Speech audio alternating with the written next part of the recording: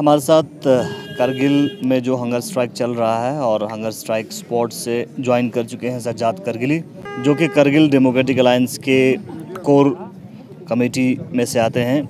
हमारे साथ ज्वाइन करने के लिए बहुत बहुत शुक्रिया सज्जाद जी क्या कहना चाहेंगे जिस तरह से आज जो आप लोगों ने हंगर स्ट्राइक किया है?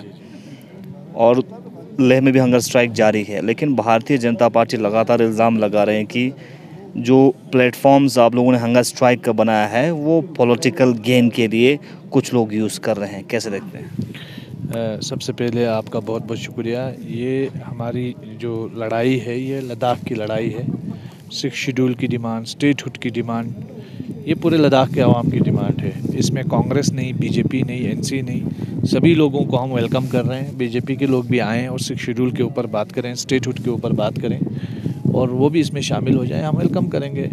तो दूर बैठ के ताने कसने से तो ज़ाहिर सी बात है, जो हमारी अवामी जद्दोजहद है, वो कमज़ोर ही होगी।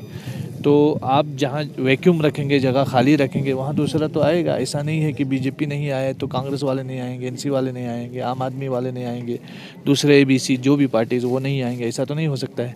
मैं उम्मीद करूँगा कि बीजेपी वाले दूर बैठ के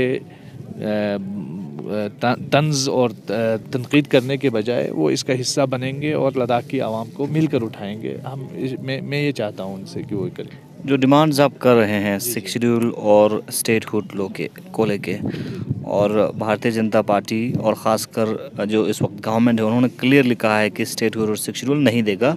उसके जगह पे आपको कॉन्स्टिट्यूशनल सेफ़ देगा या 371 के तहत आपको प्रोटेक्ट किया जाएगा। क्या कारण है 371 और कॉन्स्टिट्यूशनल सेफ़ गार्ड को एक्सेप्ट न करने का एपेक्स और के? का पहली तो चीज़ ये है कि सिक्स शेड्यूल न देने का क्या कारण है, वो सरकार तो बताए, क्योंकि सिक्स शेड्यूल ट्राइबल लोगों के लिए बनाया हुआ आर्टिकल 244 टू में जो सिक्स शेड्यूल का प्रोविज़न है, वो ट्राइबल्स के लिए है। हमारी more than 90 percent population tribal है।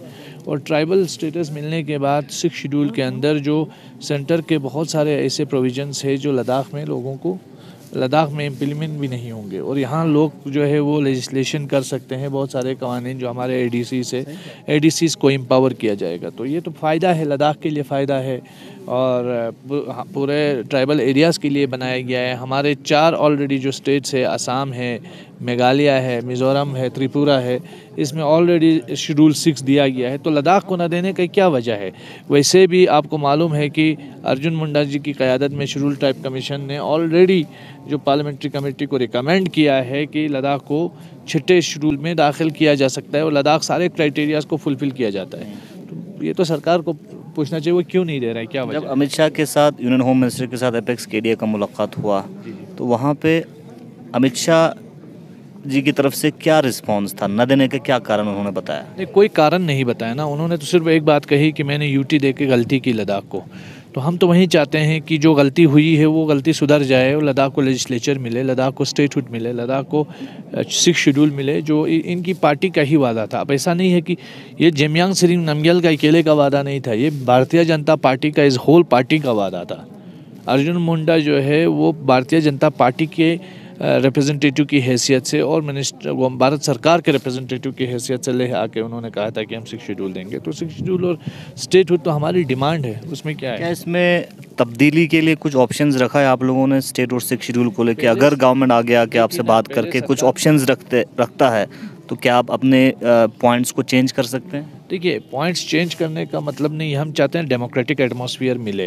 हाँ ठीक है उसमें कमी पेशी रह सकती है उस पर बात भी कर सकते हैं हम सरकार के साथ। लेकिन जो शुरू से ही चीज़ों को खारिज करना है इसका मतलब दरवाजे खिड़कियाँ सारा बंद करने के बराबर है। हम तो चाहते हैं कि सरकार बात करे आ, आगे आए वो हमें बताएँ उनको क्या क्या दिक्कतें हैं स्टेटहुड देने में उनको क्या परेशानियाँ हैं सिक्स शेड्यूल देने में। अगर वो खुल के हमें ये सारी चीज़ें बताते तो हम देखेंगे क्या कर सकते हैं। हम भी हम भी चीज़ों को डायलॉग के लिए तो हम तैयार हैं ना। डायलॉग का दरवाज़ा तो हमने कभी बंद नहीं किया। हम तो दिल्ली में, हालाँकि हमारे लोग भी हमसे नाराज़ हुए कि तारीख़ पे तारीख़ तारीख़ पे तारीख़ हो रही है। लोग हमसे नाराज़ थे, उसके बावजूद भी हम जो है वो इसका हिस्सा बने। एपेक्स और के का हालिया दिनों में मीटिंग हुआ लेह में। वहाँ पे कौन कौन से मुद्दों पे डिस्कशंस हुआ क्योंकि ऑफिशियली किसी भी तरह की स्टेटमेंट बाहर नहीं आया? नहीं वही कि फ्यूचर कोर्स ऑफ़ एक्शन क्या होगा कैसे हम बात को आगे बढ़ाएँगे? इन्हीं मुद्दों फ्यूचर कोर्स वो तो जो भी जब भी इस इस अनशन के बाद और रमज़ान के बाद जब अपेक्स के एरिए के लोग मिल के बैठेंगे उसके बाद ही देखा जाएगा। सत्ताईस तारीख को लेह में भी अनशन ख़त्म हो रहे हैं सुना मौजूद का और करगिल में भी। तो सत्ताईस तारीख को क्या पब्लिक से खिताब करेंगे दोनों जगहों बिल्कुल बिल्कुल। लोगों से एड्रेस होगा पब्लिक एड्रेस के साथ ये प्रोटेस्ट ख़त्म होगा। उसमें कुछ ऐलान हो सकता है? मुझे तो नहीं लगता अभी होगा उसके बाद हमें फिजिकली तमाम जो है अपेक्स के लिए कि पूरी पूरी टीम को बैठना पड़ेगा उसके बाद कुछ आगे बढ़ सकते हैं। बहुत सारे करगिल के लीडर्स लेह में जाके सोना मौजूद को समर्थन किया तो इस अनशन में भी लेह से कुछ लोगों का आने का तो है? ये बहुत मुख्तसर सानशन है हालाँकि लेह में सोना मांगचू जी ने अपेक्स और के की डिमांड्स को सपोर्ट करते हुए अनशन किया। तो ये हमारा फ़र्ज़ बनता था कि के की तरफ़ से हम लोग जाके उनका शुक्रिया अदा करते और हम उनका शुक्रिया अदा कर रहे हैं। आज के इस प्रोटेस्ट में भी हम लोगों ने उनका शुक्रिया अदा किया। चलिए बहुत बहुत शुक्रिया हमारे साथ करगिल डेमोक्रेटिक अलायंस के अ, मेंबर और सब कमेटी जो कि गवर्नमेंट ने बनाया था।